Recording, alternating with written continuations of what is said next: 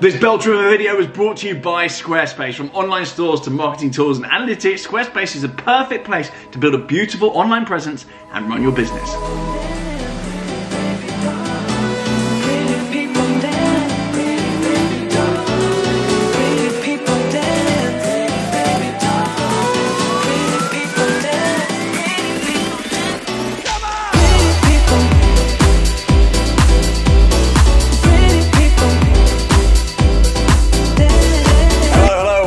CGTV, and more specifically, ladies and gentlemen, welcome back to a very familiar location. You will recognize, if you are an avid viewer of the channel and you're observant, you'll recognize that I'm here at the Classic Car Company because today I am reintroducing a car back onto the channel at the end of the year, a triumphant return, my BMW M 3. Now, I've alluded to the quite sad status actually of this car a couple of times in the past uh, few months and the past couple of videos, uh, but today I'm finally here to pick the car up and explain what on earth has been going on with this car. So without further waffle then, and my little blue beard, say hello again, once again, to my BMW M3.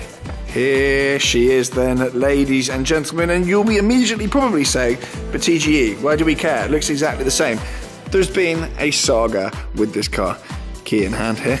There's been a saga. So, when I actually bought this car back in May 2020, I think it was, so best part of 18 months ago now, I never actually received the V5 for this car. I bought it, I got the new keeper slip, I went on my merry way, but the V5 never turned up. Now, me being me, I just faffed around with it and I fumbled it and I just carried on as normal. I actually drove around in the car for a little while thinking the DVLA are on strike or whatever it is, or COVID, whatever it is, they will sort it out at some point.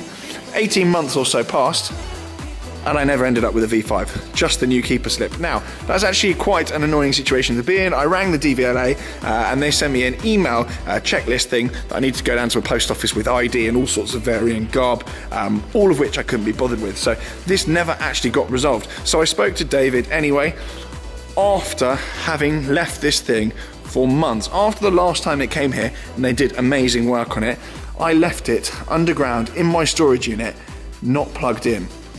And in fact, the drive home to collect this thing, when they had actually made it all fresh, it got all wet and all dirty. So I didn't put a cover back on it.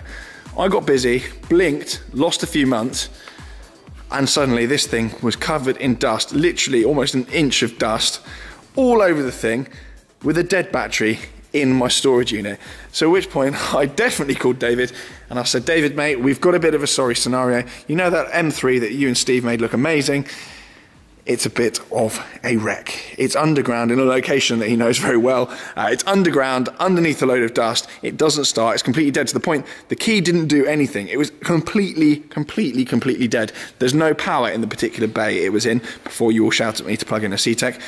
We're about to get CTEK involved. I actually put a CS FREE plugged into, so the mobile battery unit, I actually plugged it in to the car and revived it. Well, David did it anyway. David did it. I'm um, technically inept, so um, he actually uh, saved this thing. Anyway, it started, it needed an MOT as well, so the MOT had expired and altogether it was just a very sorry state. And in that brief period, at some point, some idiot had tried to clean it as well, so damaged some of the paintwork. So it's been here anyway, under the care of the guys here at the Classic Car Company. They've taken the old ceramic off the bonnet because actually where all the dirt had been sticking, it actually kind of welded itself uh, to the paint. There's been some paint correction and there's been a new layer of ceramic applied. So all very exciting stuff. There are plans for this car.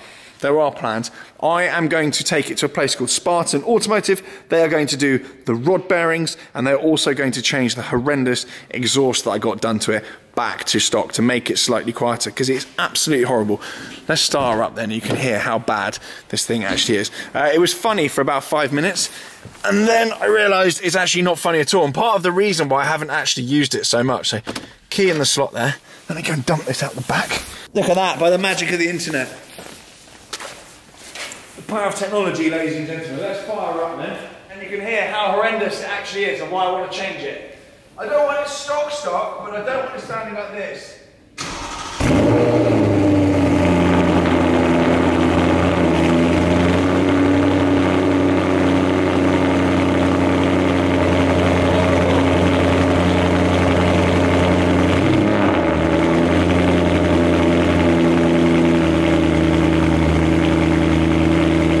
So that then is on a cold start. It does get more bearable, but that is absolutely appalling. It's at the point where my dogs hate being in this car. I'm gonna get away from it. I'm gonna go all the way over here. It's to the point that my dogs actually, there we go. See, now that's more palatable. I know you can map out the cold start thing, but I don't want to be messing around with the engine mapping too much. Um, it's to the point my dogs hate even being in it. It sets off car alarms in the storage unit where I store it, and it really just isn't a pleasant environment to be in when you turn that car on. So I will be getting that put back to stock, I think, along with the rod bearings being done, which is actually going to be done this side of the new year with the guys at Spartan Automotive. So I will go and do a video with those guys and we'll go into what it entails to get the rod bearings checked. But for now, the car is now legal. I have a V5 back in my name. And the really exciting bit is that I'm going to change the number plate. Those OGs on the channel will remember. I will change the number plate back to T6EXX, the original plate that was on that car. And actually the first private plate I ever had was on originally my uh, Mini Cooper S and then a 987 Boxster that I had and then went onto this car many, many moons ago. And I've had that plate um, literally since I was about 18. So that plate will now go onto this car. I can finally do it legally. All jolly exciting. Let's jump in then. I'm gonna plug a GoPro into the window and we'll go for a little spin then. We'll drive out of here and give you a little give you a little idea as to what it's like to drive because I've actually driven it for a while. Let's go then. It's so weird getting back in this car. It just feels like kind of like an old friend. It's pretty tight in here. Oh, that front splitter is just a real cause for concern. Right then, let's get moving. There's actually a traffic police uh, station next to the Classic Car Company, so I'm actually quite relieved to now be driving around fully legit. Not that I wasn't fully legit before when I didn't have the V5, it just when I was pulled over, or if I was pulled over, which I wasn't in the time I had this before, um, sorting out the docs, the V5 just wouldn't have been in my name. Um, it wouldn't have been registered as stolen. It's my car. The funder had funded against it. You know, I've got proof of title in the new keeper slip, but it just hadn't been registered properly the DVLA. So I don't want any of you thinking I was driving around illegally. Um, but just for peace of mind, obviously, I wanted to get that sorted. And I also wanted to put my private plate on it. This car it's warmed up now as well because I just left it running for about 20 minutes.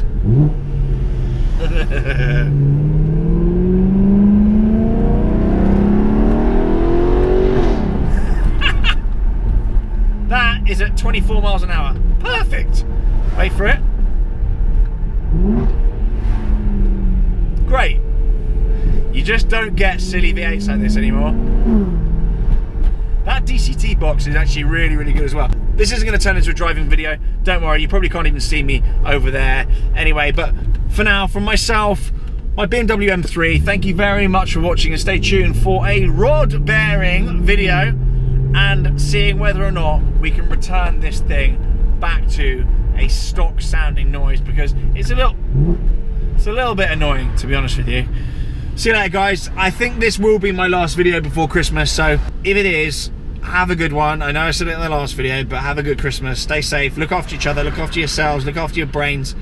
And I'll see you on the other side. If you're finding it a crap time of year, that is quite normal. A lot of people do. Um, so don't feel like you're the only one. You're very definitely not. Chin up, get through it, and I'll see you on the other side. Ciao!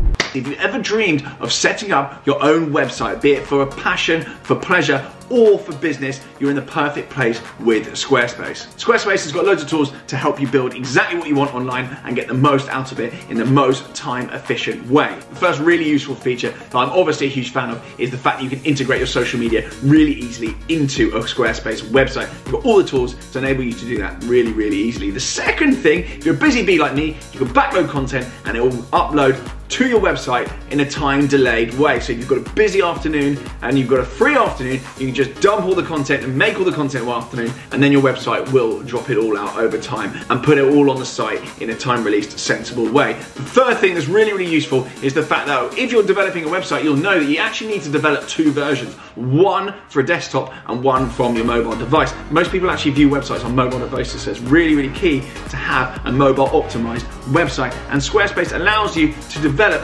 both pretty much at the same time with ease. Another thing that's particularly pertinent if you're running an online business is email campaigns. Squarespace allows you to set up amazing, effective email campaigns within your website. Really, really key. And final thing that I want to touch on, you can actually set up subscriptions. And again, something that I personally use with great effect is a subscription model for Crep Chief Notify. Again, that's really, really key. It allows you to build recurring revenue and actually add huge value to your business as well. All those things and many, many more are part of the reason why Squarespace really is an unbelievable place to start and build a website. Now, as an exclusive offer for you guys, if you click the link below, you get a free trial, and when you are ready to get going, you'll get 10% off your first order with Squarespace.